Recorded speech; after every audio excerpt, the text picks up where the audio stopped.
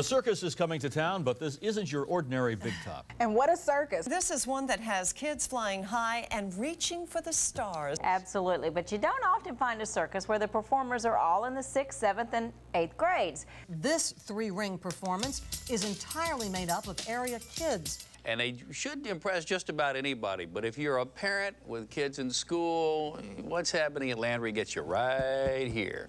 Welcome to Circus of the Kids. Circus of the Kids. Circus of the Kids. The Circus of the Kids. The Circus of the Kids. Circus of the Kids? A unique fundraising, kid bonding, community building, lesson teaching, life changing experience unlike anything you've ever seen. It's a real circus, all right. And the students, all skills, sizes, and shapes, well, they're the stars. Lindsay Lockett is a tiny drink of water, probably not destined for an athletic career, but her confidence and self esteem bloom as she performs, and the students in the stands call her name.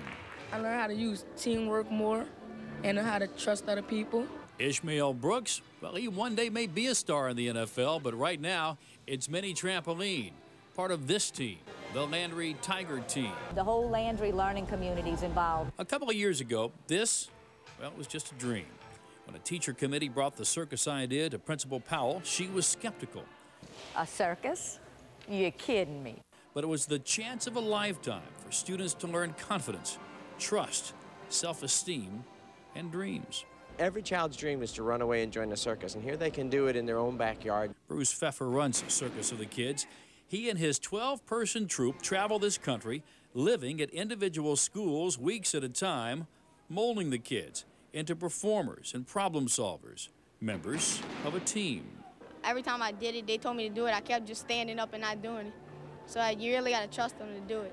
You got to set your goals. Your goals for school, you got to get your work done. And if you don't get your work done, you can't be in the circus. I, I, hear from teachers a lot that negative behavior in the classroom goes down because their self-confidence gets boosted. I hear from parents that the siblings start getting along better at home because circus is all about teamwork. You got to trust and depend on each other. And grade point averages go up too.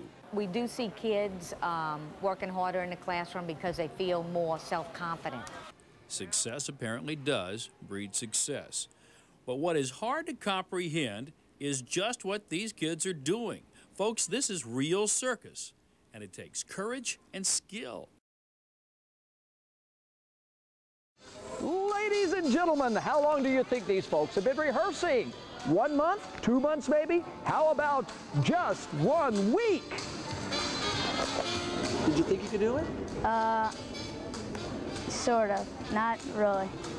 You weren't even sure? Yes.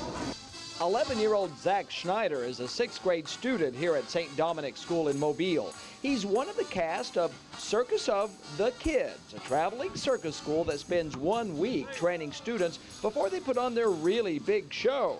14-year-old Claire Burnett literally jumped at the chance. Well, the act is standing on a globe that's about like this high and this big around, and we do all the tricks like we do partners on it and juggle and jump rope and. Not something mom would let you do around the house. No. They couldn't even stand on those globes the first day. They were falling off left and right and thought, there's no way we can do and and they have just enjoyed it and loved it and uh, they're getting bumps and bruises, but it's like, that's all right, I want to do some more and, and hanging there. Yeah. And not just these kids, the entire student body at St. Dominic either performing or researching or doing art and writing stories about the circus. But a circus performed by kids? Well, it was founded 20 years ago by circus performer Bruce Pfeffer, who did his share of trapeze, bicycle stunts, wire walking, and fire eating. Now he's teaching young people like these they can do more than they thought. It's tough stuff that what they're doing. Climbing up on the rope and hanging by your arm. If you get a chance to do that, it hurts. But this young lady makes it look so easy.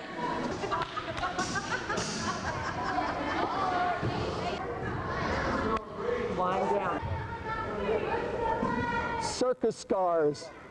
Still, it's inspiring these young people reaching inside themselves to find the courage to do what they thought just couldn't be done. It's amazing what we can do within just a week. I'm impressed. And so is Christina, the circus ring mistress and eighth grade student at St. Dominic.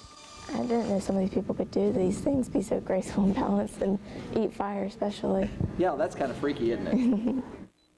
but none of these children would have even approached this stunt without the guidance of the Circus of the Kids professionals. And then there's Todd who's standing there, who's holding a towel at all times. And then there's usually Jeanette standing on the other side with a blanket just in case. It's exciting. It's a, a thrill. I like it. It's, it's a lot of work, but it is worth it in the end. And then they really believe in themselves when they finish. They, they're confident and they just um, believe that they can do something that they never on earth thought they could do. I thought it was pretty cool, actually.